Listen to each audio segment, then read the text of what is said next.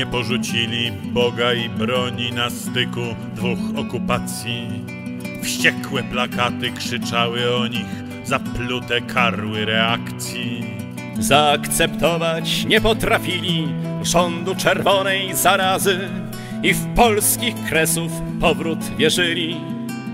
Czekając na rozkazy i w polskich kresów powrót wierzyli. Czekając na rozkazy Naród, co pragnie wolnym być, musi o wolność się bić, robić powstania, zdrajców przeganiać, inaczej nie zdziała nic.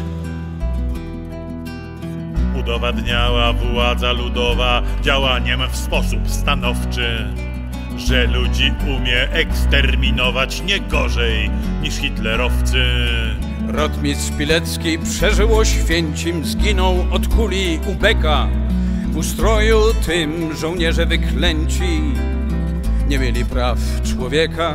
W ustroju tym żołnierze wyklęci nie mieli praw człowieka. Naród, co pragnie wolnym być, musi o wolność się bić, robić powstania, zdrajców przeganiać inaczej. Nie zdziała nic. Przyjaznych wilkom gęstwinach lasów wzajemnie się pocieszali, że trzecia wojna jest kwestią czasu i że ją przegra Stalin. Wierzyli, że się obrócić uda w proch pojałtański porządek. Wierzyli, że ich życie w trudach to dziejowy rozsądek. Wierzyli, że ich życie w trudach to dziejowy rozsądek. Naród, co pragnie wolnym być, musi o wolność się bić, robić powstania, zdrajców przeganiać inaczej. Nie zdziała nic.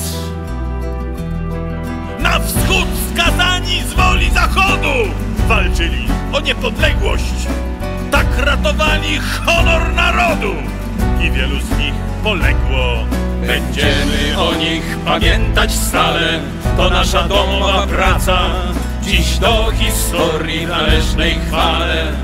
Podziemna armia powraca, dziś do historii należnej chwale. Podziemna armia powraca, dziś do historii należnej chwale. Podziemna armia powraca. Co pragnie wolnym być, musi o wolność się bić, robić powstania, zdrajców przeganiać inaczej. Nie zdziała nic. Naród, co pragnie wolnym być, musi o wolność się bić, robić powstania, zdrajców przeganiać inaczej. Nie znaczy nic.